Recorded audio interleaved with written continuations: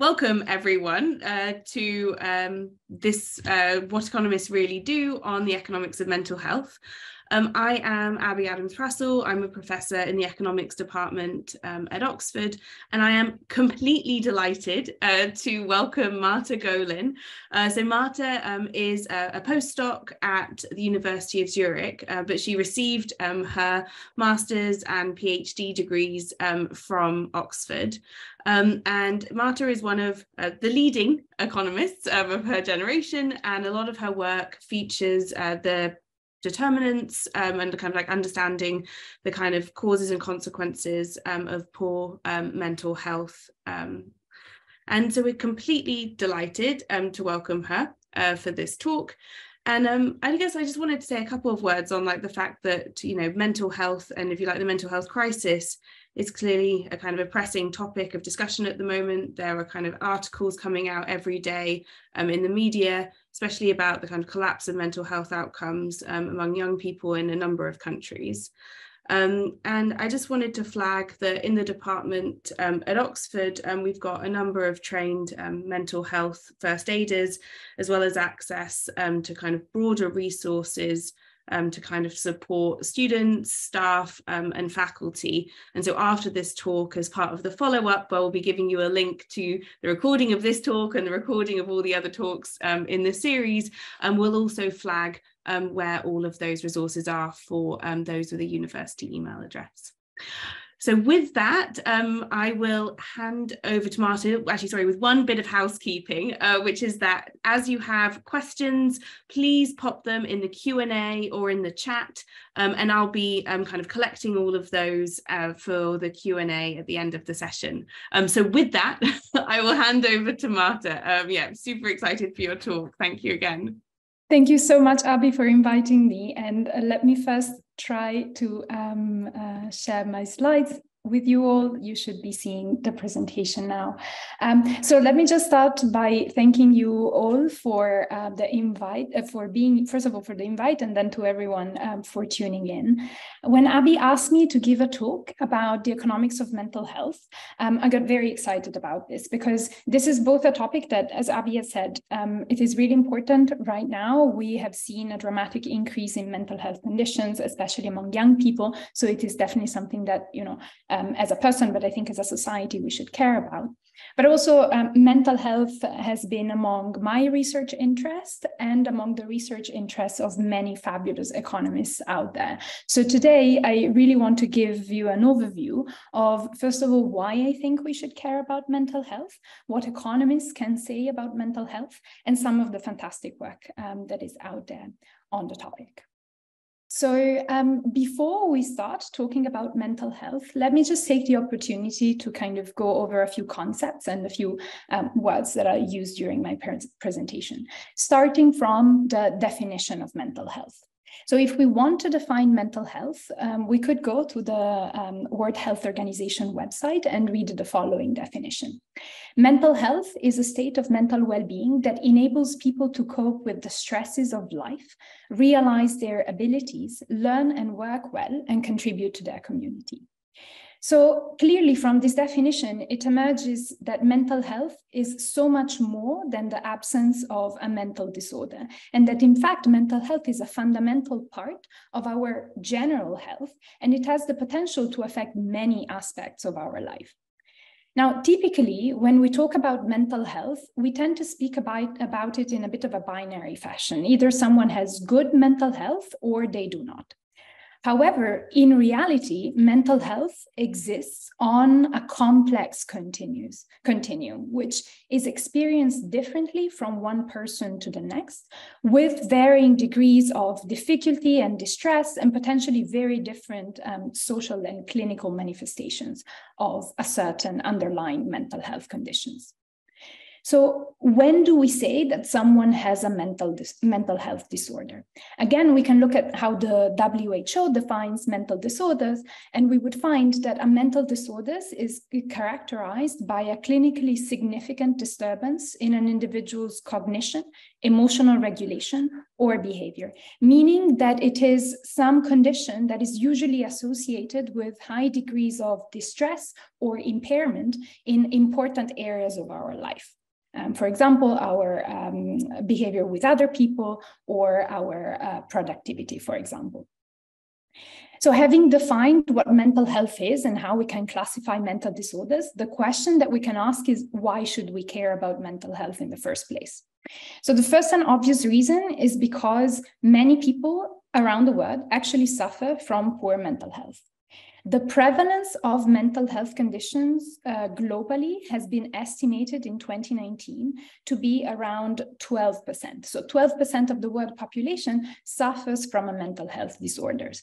And if we look at which are the groups that are most at risk of suffering from these disorders, we would find that women have a higher prevalence of mental health conditions in their life, and that young people are also particularly at risk. So, if we look at children and adolescents, the, the latest data shows that around 20% of the world's children and adolescents have a mental health condition. And the most prevalent conditions worldwide are anxiety and um, depressive disorders. If the high prevalence of mental health conditions wasn't enough, we also know that mental disorders are a significant contributor to what we call the global burden of disease. What this means is that basically the burden of disease, um, as I'm representing it here in this graph, is the total number of years of good quality life that we lose globally because of different health conditions. As we can see in the graph, the biggest contributor to our lost years of good health are kind of the typical suspects that uh, we can all think about, like cardiovascular diseases, cancer, neonatal disorders. But the graph also shows that mental health disorders, among all other health disorders, come quite high up in the list of conditions that significantly reduce our quality of life and close to other conditions like diabetes or kidney diseases, which can, kind of would come to mind when we think about um, decreases in quality of life because of, of um, health conditions. The fact that mental health is an important component of our general health is also underscored by the fact that mental health has found significant space in the UN's Global Development Goal.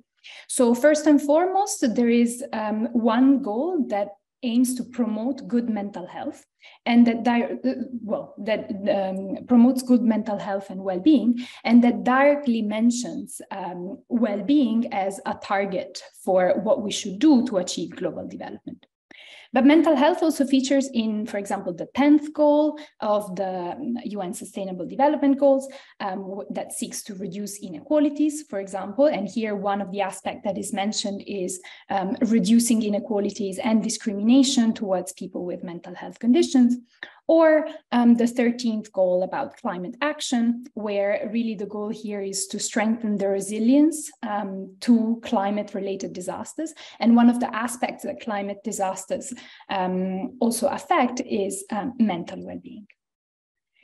Now, having discussed the general importance of mental health and sort of its key role in individual and global development, in the rest of the talk, I want to discuss why I think economists are very well placed to contribute to the discussion around the importance of mental health and also how we can promote mental well being. And in doing so, I want to stress three main reasons why I think uh, we should be doing more research on uh, mental health um, from um, kind of the economist perspective. And the first reason is that mental health is really closely linked, linked to many of the economic outcomes that we have um, already been interested in.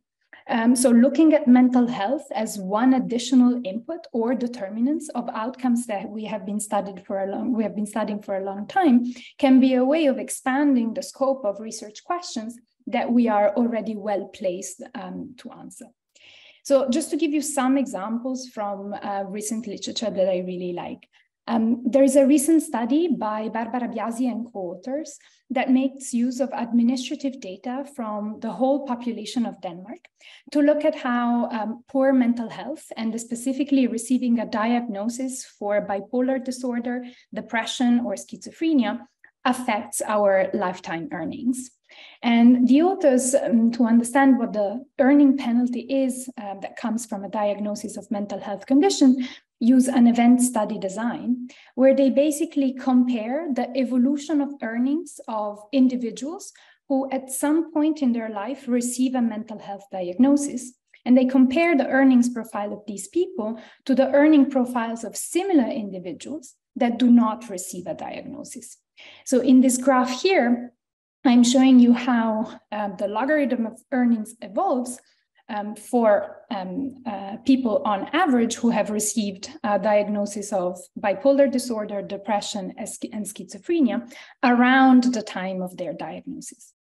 And as we can see, individuals who um, are diagnosed with bipolar disorder, depression, or schizophrenia um, some, suffer a significant drop in their earnings around and immediately after their diagnosis. So, for example, compared to the healthy population, people with a diagnosis of depression earn um, uh, 36% less, and people with a diagnosis of bipolar disorder um, earn 38% less. And actually, when we control for things that we may think may be confounding this effect, like family characteristics or individual characteristics that are both correlated with earnings and the probability of um, suffering from a mental health condition, the estimates change very little. So it really seems that mental health conditions comes with large earning penalties. In the same paper, the authors also exploit a change in the Danish regulation for access to drug treatments that meant that from one day to the next, essentially, people who suffered from bipolar disorders could, could get access to a new medication, lithium, which is a very effective treatment for bipolar disorders compared to other pharmaceutical interventions that were available before, um, before the time when lithium was introduced. And the authors then compared the earning penalties that I'm showing you here of people with a diagnosis of bipolar disorders. And they compared the penalties for people who did not and did get access to lithium as a maintenance treatment for BD around the time when uh, bipolar disorders usually arise. And in doing so, they found that having access to this very effective form of treatment for bipolar disorder reduces the earning penalty by between a third and two thirds, depending on the specifications that they run. This means that promoting good mental health through effective treatments actually helps mitigate quite a lot of the negative consequences that men mental health conditions may have for our um, labor market outcomes, for example. But not only that, mental health doesn't only matter for our earnings, it also matters for things like uh, economic decision making. Another study that I think is really great um, looks at the long term effects of a randomized controlled trial that provided psychotherapy to a group of prenatally depressed mothers in Pakistan. And this was one of the largest psychotherapy trials at the time when it was run in the world that investigated the impact of uh, cognitive behavioral therapy for treating depression. The intervention was, first of all, effective in the short term in reducing depressive symptoms. But what the authors do in this paper is they go back to the study site seven years after the intervention was run to look at how um, trial participants uh, have been doing, not only in terms of their depression, but also in terms of other um, types of outcomes that we may be interested in, like, for example, um, financial empowerment or the way in which they uh, made investments in their children. And what they find is that when they returned to the study site seven years after the trial, the authors found that the intervention had significant and persistent effect on, on depression. So a one-off intervention around the, um, the time of childbirth was effective in reducing depression also in the long term. But also, um, the authors found that this intervention kind of put treated women on a different path that generated future improvements in other outcomes of interest. For example, in the middle part of the graph here, we can see that the women who underwent psychotherapy as part of the intervention scored significantly higher on an indicator of financial empowerment They were more likely to have control of household spending, and they also made more investments in their children, both in terms of the time that they spent with them, engaging in active um, and, and kind of productive activities, but also in terms of the money that went into um, child related goods. Um, there's a lot more that economists have studied in terms of the consequences of mental health. Just to cite a few things, um, mental health has been found to lead to worse labor market outcomes in terms of higher rates of absenteeism, lower productivity, um, lower probability of remaining in employment, but also higher likelihood of engaging in risky and potentially criminal behaviors. And when it comes to children, um, uh, mental, poor mental health, and in particular ADHD, has also been found to um, affect the way in which children accumulate human capital and then perform um, in school. Now, at this point, I hope I have convinced you that mental health is an important determinant of many of the socioeconomic outcomes that we care about, which is partly why research on mental health is rapidly growing in economics. But another reason why I think economists should talk more about mental health is that as economists, most of the work that we do revolves around kind of trying to understand whether one variable, one factor, one input is causally related to an outcome that we're interested in. And I think this very quantitative approach that we adopt and the focus on causal inference can be useful also to provide research evidence on discussions about what determines mental health. And here I want to use a very recent example of a debate that has started about the link between new technological advancements like the diffusion of broadband internet and the development of social media and their link to mental health. This question has received and still receives a lot of attention in the popular press. Here I'm showing you, for example, uh, some of the newspaper articles that have been dealing with this topic. But the political circles have also um, started to talk about the link between mental health, internet, and social media, and have raised concerns about the potentially detrimental effects that online activities have um, on the, the mental health of youth and adolescents. And just to give you an example, um, the, the US Senate has, heard, has held a committee hearing in late 2021 where they explicitly discussed the link between Facebook, Instagram, and social media use and mental health. And only a few days ago, um, Vivek Murthy, who is the Surgeon General of the United States, name, meaning that he's the leading spokesperson on matters of public health, said that we are in the middle of a national mental health crisis and that youths are at risk of severe negative impacts on their development. And he pointed at the role in social me- of social media in potentially contributing to this mental health crisis. So why has this debate uh, about internet social media use and mental health emerged? Essentially, it all started around 2012 um, with the observation that around that time when access to broadband internet had become widespread, social media had been invented and it started to gain popularity, in that same period, we observed a very marked increase in symptoms of poor mental health among adolescents. This is true for the UK and the US, as shown from this graph that comes from a recent Financial Times article, um, but also in other countries.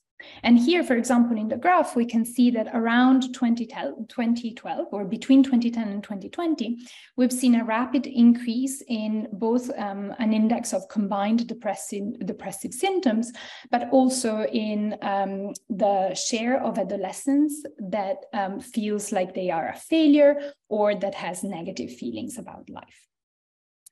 So academic researchers have also become interested in this question with pioneering work on this topic being led by psychologist Jean Twenge. And the first academic studies that tried to investigate whether there was a link between mental health and social media use or internet use relied mostly on cross-sectional data. And they found that correlationally, people who spent more time on the internet or on their smartphones and had um, higher social media use also had a higher likelihood of reporting symptoms of depression or anxiety. But what are the mechanisms that were hypothesized to lead to a reduction in mental health? Well, researchers argued that online activities essentially are replacing other in person or off- offline um, activities that we know are kind of good for our mental health. Um, for example, digital socializing um, has been found to displace in person gatherings, and um, it, it, has also been found to displace other leisure time activities, like, for example, doing sports um, or hanging out with family, that we know are kind of good for our not only health, but in general, not only mental health, but in general for our well being. And it was also argued that the diffusion of social media meant that social media users portray a very limited part of their life that is usually the part of their of one's life that is most exciting or fulfilling and this means that other users, when looking at kind of each other's profile, were suddenly exposed to impossible models of reality. And they were then more likely to engage in unfavorable comparisons, meaning they were more likely to compare themselves to these unrealistic and um, unfavorable models. But at least at the beginning, most of the studies um, that tried to link um, internet and social media use um, to mental health were correlational in nature, meaning that it wasn't it wasn't clear whether internet and social media use was really causing a deterioration in mental health. So then the question that we should really ask is are internet use, smartphones, and social media really to blame for the recent rise in mental health disorders? And this is something that um, economists have been growing more and more interested in in recent years. Now, identifying these causal relationships between internet, social media use, and mental health is very hard.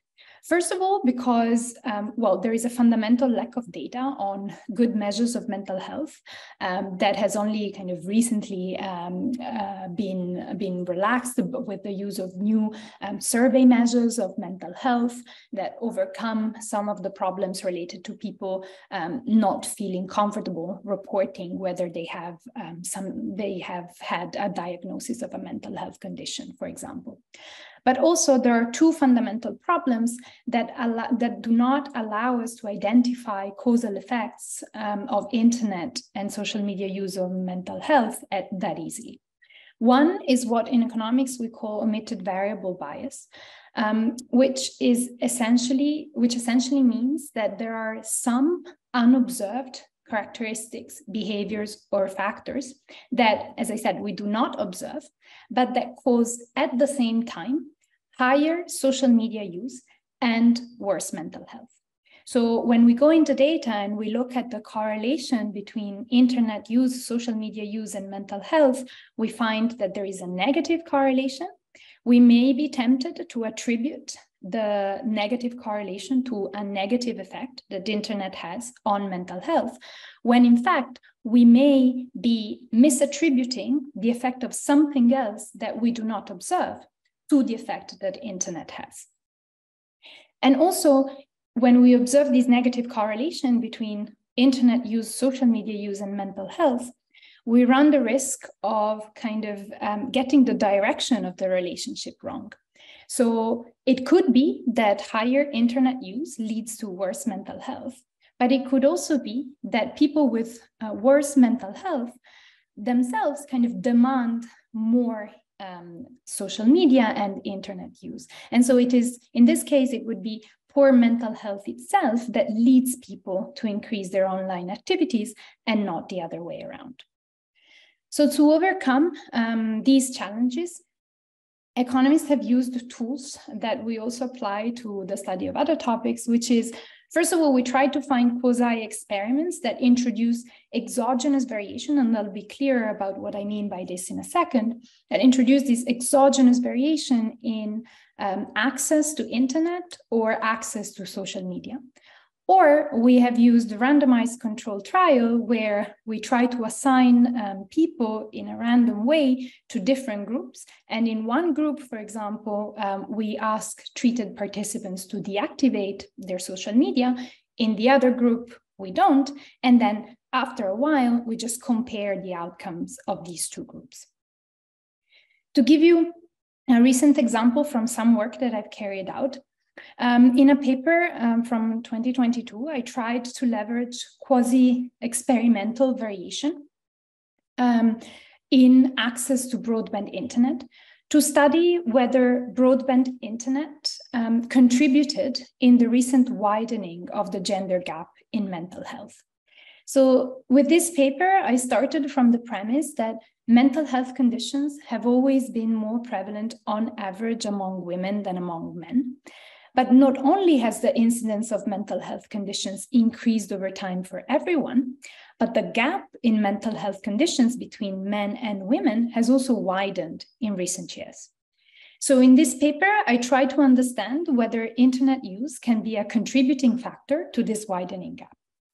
And to do so, I use a large panel dataset from Germany that is called the German Socioeconomic Panel.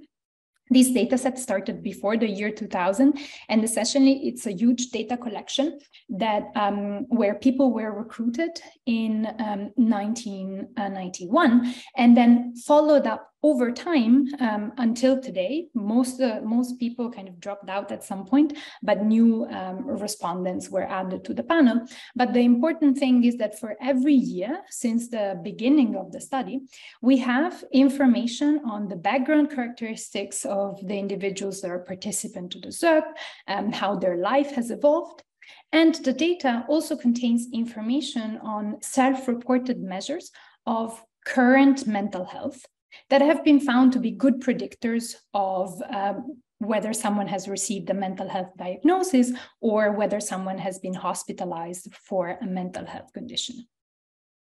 Now, in the data, um, I also know more or less the exact location of where people live. So this would be something equivalent to knowing the postcode of people in the UK. And I use this information to combine the socioeconomic panel data with details on the characteristics of the German telecommunication infrastructure that was used to supply um, broadband internet. So in particular, in the very early phases of broadband internet development, the diffusion of broadband internet to households happened through the existing telephone lines that were used to connect people um, with the telephone. And the way telephone connection works is that households have to be connected to a so-called main distribution frame or MDF, which is essentially a termination point within the local exchange network that connects households to repeaters and other telephone equipment through copper wires. Now, the telephone infrastructure in Germany was um, designed in the 1960s. And as part of the design of the telephone infrastructure, it was decided where to place these main distribution frames. And the choice of location of these main distribution frames at the time, so in the 1960s, way before internet was a thing, mostly depended on factors that had to do with the availability of buildings or whether a location was appropriate to host a certain type of equipment.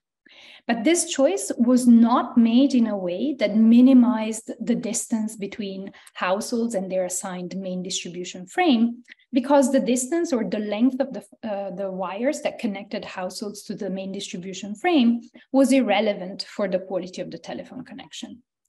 However, when the same lines were then used to supply broadband internet, distance to the main distribution frame started to matter.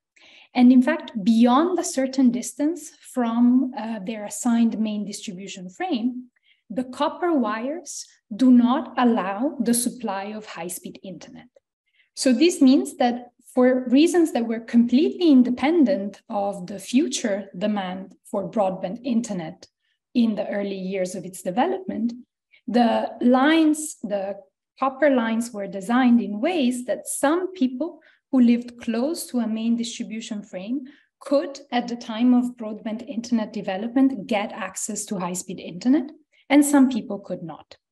So, in this paper, I exploit this exogenous variation in access to broadband internet that is independent of internet demand to look at how internet affects mental health. And the way I do this in practice is I use where people live and the distance between people's households and the main distribution frame to predict whether or not they could get access to broadband internet in the early years of its development. So we're talking about the years between 2008 and 2012 in Germany. And then I use this predicted probability to look at how it affects mental health of adults in Germany. And what do I find? I find that broadband internet overall leads to a deterioration in the mental health of people and especially young women. So in this graph, I'm showing you coefficients that um, reflect the effect that having access to broadband internet has on mental health, which is measured with a composite index and standardized to have a mean of zero for the full sample. So the effect sizes are in standard deviation. And if we look at the three coefficients on the left, we find that for the full sample, there seems to be a deterioration in mental health that is driven by women, but the results are kind of insignificant for the overall sample of adults. When we break this down by age and look at whether the effects are different for the young population, nam namely those who are 35 years old or younger, and the old population, we find that the young population has been significantly affected. And people who are 35 years or younger and have access to broadband internet score significantly lower on this self reported index of mental health than people who do not have access to internet. And the effects are essentially almost entirely driven by young women. So it seems to be the case that internet contributed to widening the gender gap in mental health for the population of uh, young adults in Germany. And this is also the population that is more likely to be using the internet uh, for various activities compared to um, slightly older people. So in the paper, I also try to look at which, um, which aspects of mental health are particularly affected. And I find that um, internet leads to a deterioration in women's ability to cope with emotional problems. And it also leads to them feeling less productive and unable to complete um, their work tasks. I also look at kind of the mechanisms through which internet may be affecting mental health. And I find suggestive evidence that um, access to broadband internet reduces sleep time and also sleep quality. And sleep has been found to be positively linked to mental health. Now, the results from my paper are also similar with results from other studies that have looked at the same relationship between broadband internet and mental health in different contexts. For example, in the context of Italy and Spain. And here the focus is really on uh, hospitalization data uh, which kind of have um, less problems in terms of biases coming from self-reports. And these papers also found that uh, broadband internet increased the rates of hospitalizations because of mental health conditions in Italy and Spain for the population of adolescents. But internet use is a very broad um, uh, very broad activity and we actually do many things on the internet. So the question that emerges is what is it about internet use that is so problematic and that that leads to a deterioration in mental health and here the fingers has been pointed kind of quite naturally to um, social media. And so um, in economics, we've started to look at um, questions that relate to the causal effect of consuming social media uh, and mental well-being. And here there is very interesting work out there. Um, uh, some of it is from Luca Braghieri and his co-authors, but there are similar um, studies that use similar methodologies uh, also, um, where basically in these studies, the authors exploit randomized control trials where essentially they recruit Facebook users and then they randomly assign a fraction of them to a treatment where people get paid to deactivate Facebook for a certain period of time. In the study by Luca Braghieri and co-author, this period of time was four weeks. And people who are not part of the treatment arm do not get paid and hence do not deactivate Facebook. Now, the authors kind of track the Facebook activity of all the users that they recruit, and um, they find that people assigned to the treatment arm, so people who got paid to deactivate people, to deactivate Facebook, actually deactivated it So 90% of the treated participants really deactivated their, their Facebook profile. And then after four weeks, um, the authors look at the effect that this Facebook deactivation has had on a number of outcomes of interest, including um, mental health and subjective well being. And they found that treated participants showed improvement in many dimensions of subjective well being. So, for example, they showed higher life satisfaction, they showed um, less prevalence of depressive symptoms, and also of anxiety.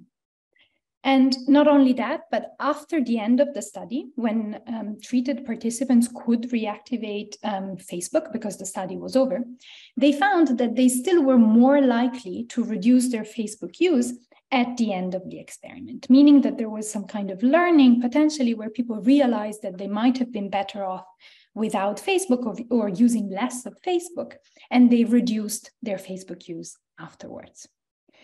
There is another study by um, also Luca Braghieri and co-authors where they looked at the same question, but using a slightly different methodology that again exploits these variations in the possibility of accessing Facebook that are independent of people's demand for Facebook use. And in particular, they exploited the fact that when Facebook was developed, it was a social network meant for um, US colleges. And it started off in Harvard. And then between 2004 and 2006, it was rolled out um, across US colleges before being made available to the general public in 2006. So the authors exploit the staggered introduction of Facebook use across US colleges to look at the effect of Facebook use on mental health for the population of college students in the US. And they find that, very similarly to the results from their other study, that Facebook leads to a deterioration in mental health, and that um, people who got access to Facebook were also more likely to report that poor mental health was affecting their academic performance. When they look at which types of kind of interactions through Facebook may be causing this effect, they find good evidence that um, Facebook was increasing the probability that students were engaging in unfavorable social comparisons. And this seemed to have led to a decrease in their mental health. Um, finally, let me just spend the last few minutes of the talk to discuss the third reason why economic research on mental health is important. And this is because economists are often part of the discussion on how we can design better policies and what impact different policies that we have in place have on various outcomes of interest. And I think that in the context of mental health, economic research can contribute in two main ways. First, if we want to design mental health policies that make mental health services not only more equitable, but also more efficient in reaching those who are most in need, we need good data driven evidence that economists are well placed to provide. But also, we can include mental health as an additional outcome of interest when we assess the impacts, desired and undesired, of the policies that we implement as part of a more comprehensive assessment of how policy changes impact our daily lives. And here I wanted to use the example of the recent COVID pandemic, which um, has caused a dramatic increase in the number of people suffering from mental health conditions. So the latest estimates um, suggest that um, uh, a 26 or 28% increase in um, uh, anxiety and depressive disorders in just one year uh, have been driven by the COVID 19 pandemic. Um, so the COVID-19 pandemic has caused significant disruptions to people's lives, which have come through these unprecedented policies that have been introduced to combat the spread of the virus. These were lockdown measures and school closures, which by all means have been very effective in preventing the spread of the virus. But a question that emerges is how have these policies affected mental health? And are there gender differences or differences um, among different groups in the population in who um, suffered the, the, the largest effect? So in recent work that I carried out with Adam, with Abi and co-authors also from the University of Bonn and the University of Cambridge, we tried to answer this and other questions in what we called the COVID Inequality Project, where we essentially collected um, rapid response survey data at the very onset of the pandemic to understand how the pandemic was affecting labor market outcomes and health outcomes in the US, in the UK, and in Germany. For questions related to the impact of the pandemic on mental health, we relied on the US SAM, where we have data from three different survey waves that we ran in March, April, and May 2020, with a total of approximately 12,000 respondents. And we have good data on mental health, but also the individual characteristics of our participants, their employment, the characteristics of their job, and the way they spend their time. And we merge this data with information on the implementation of lockdown measures or stay at home orders in the US. And in particular, we have this information at the federal state level. And we exploit the fact that following the onset of the pandemic, uh, US states kind of had autonomy in deciding which measures to implement and started to implement lockdown orders at very different points in time. So the first state to implement a lockdown order was California on March 19th of 2020, and then other states followed suit. Then in May 2020, when the pandemic situation started to ease a bit, some states started to roll back on these um, stay at home orders. And actually, there are states in the US that never implemented the stay at home order to begin with. So, what we do in the study is we compare the mental health of people that at the time of our survey were living in a state that had introduced a lockdown measure to the mental health of people that at the time of our survey were living in places where they could still um, leave their homes. And what we find is that um, being in lockdown negatively affected the mental health of our adult representative sample of um, people from the US. And the effect were mostly driven um, by women who were most severely affected. And this is consistent with other research from other countries that shows that women have been significantly more impacted by lockdowns than men, and these results also chime in with other evidence that shows that other types of policies that were implemented, for example, school closures, have negatively affected the subjective well being of children. So, this is to say that when we look at these policies, um, we can evaluate their overall effectiveness by also maybe taking into account other outcomes. And of course, we would find that these policies have been helpful in achieving um, the goal that they uh, were uh, designed to achieve, namely containing the spread of the virus. But this type of research is also important because it shows that these policies can have negative consequences on other domains. And we can use this, this evidence to kind of find ways of designing mechanisms that can promote um, mental health of the groups that are most at risk and um, mitigate some of these negative impacts. And let me just conclude by saying that the, there is a lot more that can be said about mental health, and that there is a lot more that economists are working on at the moment. Some of the most exciting research avenues um, that I think um, we will see a lot more research coming from are um, uh, research around the determinants of demand for mental health. So we know that um, a lot of the people that suffer from a mental health conditions actually do not seek the help that they would need and they, they would benefit from. And so there is exciting work in this field, for example, uh, from um, three uh, PhD students that um, have has been looked at why do people not seek help and what is the role of um, social stigma and perceptions about social stigma in hindering people, preventing people from seeking help. And also, I think one thing that we want, may want to know more is what is the effectiveness of different types of mental health treatments? So we have good evidence on, for example, cognitive behavioral therapy, but it would also be interesting in the future to study the effectiveness of other more light touch, if you want, um, uh, types of treatment like meditation and self therapy. And I look forward to um, seeing the results of work that has been carried out, is being carried out now on this. And with this, I conclude by thanking you all for um, listening, and I look forward to your questions.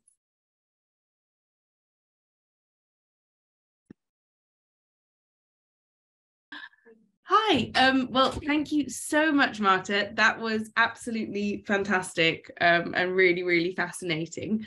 Um, we have so many brilliant questions, um, which I am going to try and summarize um, into kind of a couple of themes. So apologies for those of you who uh, uh, we might we might not get to through through all of them, but um, so the first is um, there are a couple of questions um, kind of on your thoughts around why we see this gender gap in mental health outcomes, I guess, just in general between men and women, but also in terms of the relationship with social media and and and um, and, and lockdown measures. And whilst um, uh, you know you I think you've presented the evidence like really um, beautifully about these impacts. Like, can you do you have any sense of where the kind of action might lie on mechanisms for the gender difference? Yeah.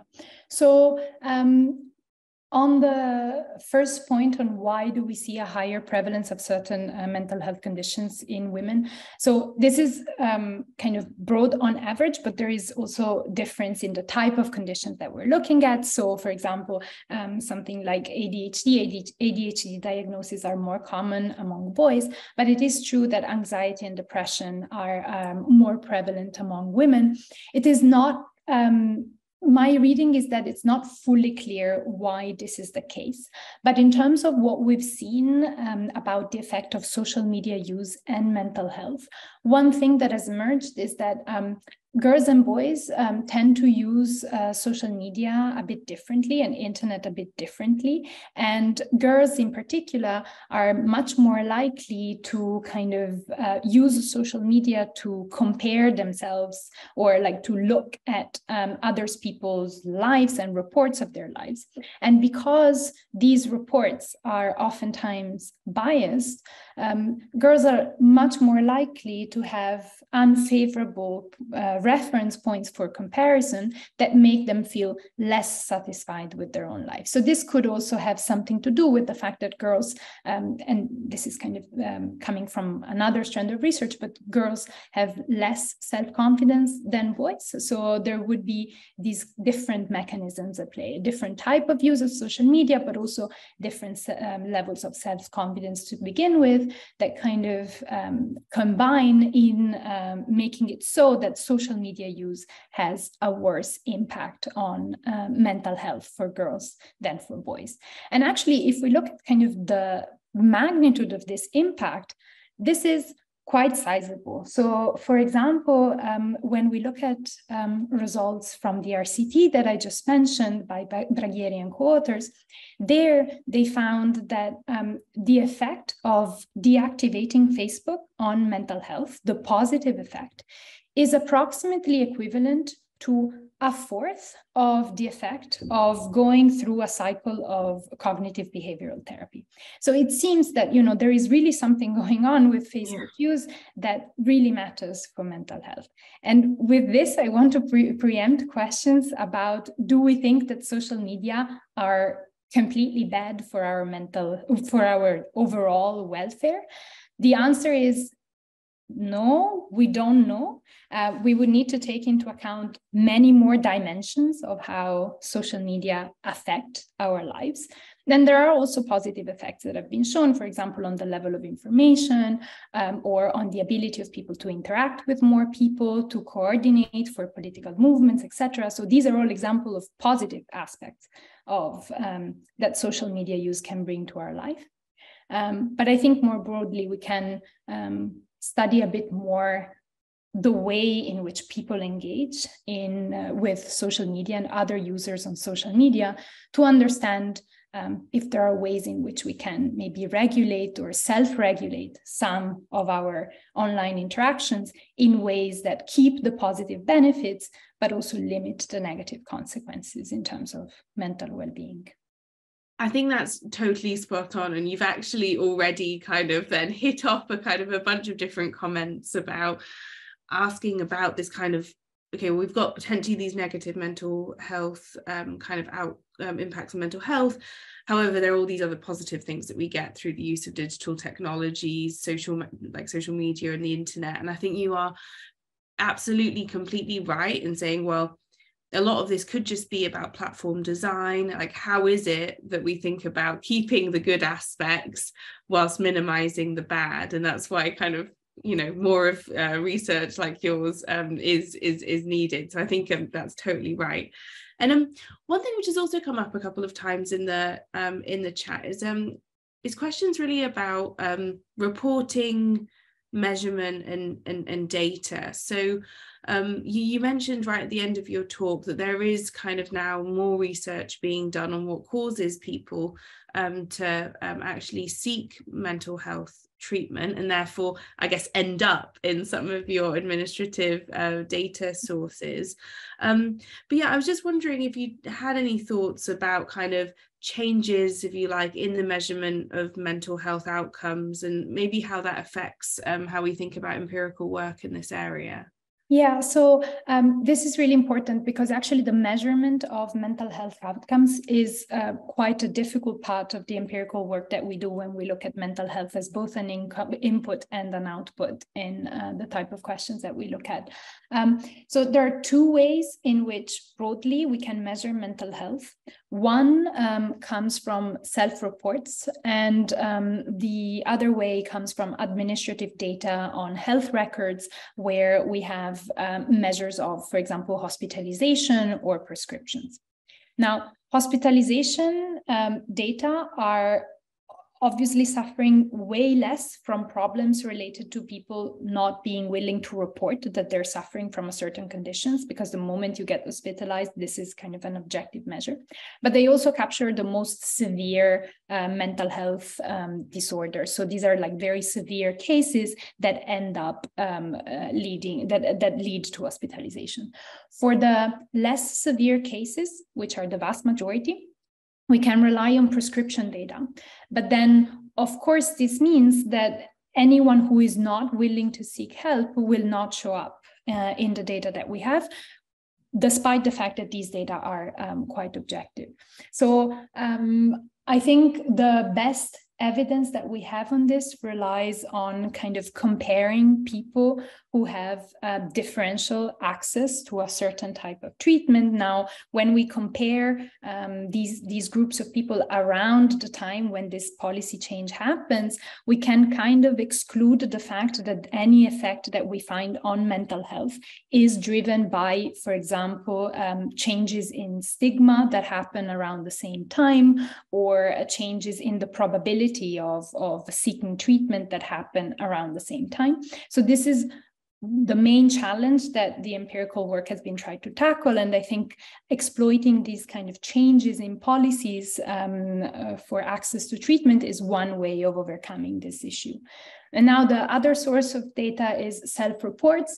And here I think more and more um, self-reported measures of mental health are constructed in ways that um, indirectly ask participants about their mental health. So these measures come from survey questions that ask more generally about the frequency with which people have experienced the different feelings and uh, these feelings have no direct um, or explicit connection to a certain type of mental health, and there is no negative connotation in the way in which the question is, is phrased um, that links a certain feeling with kind of a potentially negative judgment of the person that, that experiences it. So I think this is also one uh, way in which we can overcome some of the, the bias uh, that, that arises when having to talk about our mental health. No, that's really helpful. Thank you. Um, and I think kind of the final question that we'll get through before we get to the end, there's um, a couple of questions really about how we might think about mental health as an input into economic outcomes. And I guess you kind of started the talk a little bit about, um, um, you know, we have, um, you know, these effects of diagnoses of various kinds, kind of depression, bipolar disorder, schizophrenia. Someone, someone has also asked a little bit about um, specifically around autism. Um, and so I guess there were two kinds of questions. So one was, um, uh, is are there like were you focusing more on like studies of out of, of mental health as an outcome in a sense because it's so difficult to think about in an empirical causal way about what the impact of good mental health outcomes are on these other issues? Um so i think that's probably one aspect. And then um the, the other thing is i guess this interaction do you know of anything around this kind of interaction of different forms of mental health with for example workplace programs or different policy programs which could actually you know mediate some of these impacts of poor mental health on on economic outcomes? Sorry there's a lot there but just kind of any of your kind of thoughts Um, so on the first point, I think um, so. Again, this it, it is really challenging to kind of assess the impact of of mental health on other outcomes because oftentimes mental health and say um, labor market outcomes are determined by to a, to some extent at least the same things so if there is a negative event in my life this is likely going to affect my mental health but it also has repercussions on my uh, productivity for example so this is where i think the uh, economic toolbox can be really useful in trying to understand what the actual causal link between mental health and outcomes is. And the way we we do this is different ways, but for example, the graph that I've shown about the um, earnings penalty in, in associated with mental health, there the authors essentially were trying to compare very similar individuals um, that at some point in their life some of them experienced a mental health diagnosis and some didn't but these individuals are kind of similar on many observable characteristics or as many observable characteristics um, as we can observe.